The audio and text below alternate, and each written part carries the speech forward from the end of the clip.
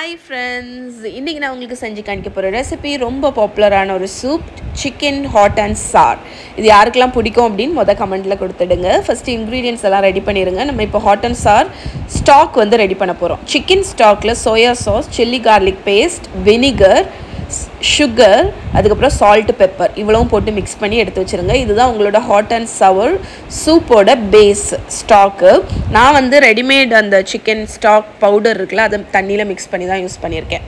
இப்போ ஒரு பாட்டில் நான் வந்து டோஸ்டட் செசமி ஆயில் ஆட் பண்ணியிருக்கேன். நீங்கள் ரெகுலர் ஆயில் ஆட் பண்ணலாம்.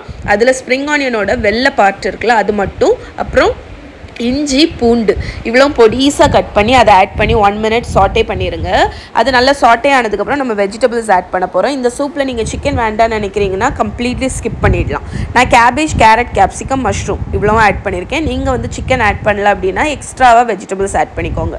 ஒரு டூ மினிட்ஸ் இதை நல்லா சாட்டே பண்ணிவிடுங்க ரொம்ப குக் ஆகணும்லாம் அவசியம் இல்லை. இப்போ நம்ம கலந்து வச்சுருக்கிற அந்த ஸ்டாக்கை வந்து ஊற்றிடுங்க இப்போ இது ஃபுல் பாயில் வரணும். அதுக்கு ஒரு மூடி போட்டு அது கொதிக்க விடுங்க. அதுக்கடையில் நம்ம ஒரு ரெண்டு டேபிள் ஸ்பூன் கார்ன்ஃப்ளவரை தண்ணியில் மிக்ஸ் பண்ணி ஓரத்தில் எடுத்து வச்சுருங்க. இது நம்ம கடைசியாக சூப் திக்காகிறதுக்கு ஆட் பண்ண போகிறோம் அதே மாதிரி நான் ரெண்டு முட்டை ஆட் பண்ணியிருக்கேன். நீங்கள் வந்து ரொம்ப திக்காக சூப் வேண்டாம்னு நினச்சிங்கன்னா ஒரு முட்டை ஆட் பண்ணி ஆட் பண்ணால் போதும்.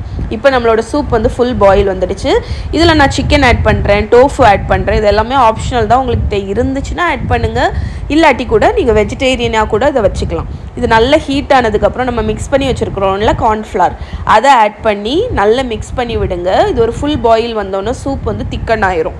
திக்கன் ஆனதுக்கு அப்புறமா அடுப்பை குறைச்சி வச்சுட்டு எக்கை வந்து ஸ்லோவாக இந்த மாதிரி ட்ரிசில் பண்ணுங்கள் அதுக்கப்புறமா ஒரு ஸ்பூனை வச்சு மெல்ல கலந்து விடுங்க. நீங்கள் வந்து ரொம்ப ஸ்பீடாலாம் கலக்கக்கூடாது.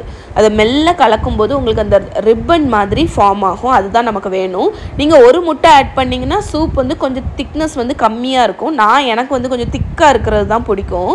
அதனால நான் ரெண்டு ஆட் பண்ணேன். இப்போ ஃபைனலாக ஸ்ப்ரிங் ஆனியனோட பச்சை பார்ட் ஆட் பண்ணி மிக்ஸ் பண்ணிங்கன்னா நம்மளோட திக்கான hot and sour soup ready ரெஸ்டாரண்ட்டில் செய்கிறத விட வீட்டில் வேறு லெவல் டேஸ்ட்டில் இருக்குங்க. இதோட full written recipe yummy tummy Aarthi dot காமில் இருக்குது கீழே டிஸ்கிரிப்ஷனில் லிங்க் இருக்குது மறக்காமல் செக் பண்ணிக்கோங்க.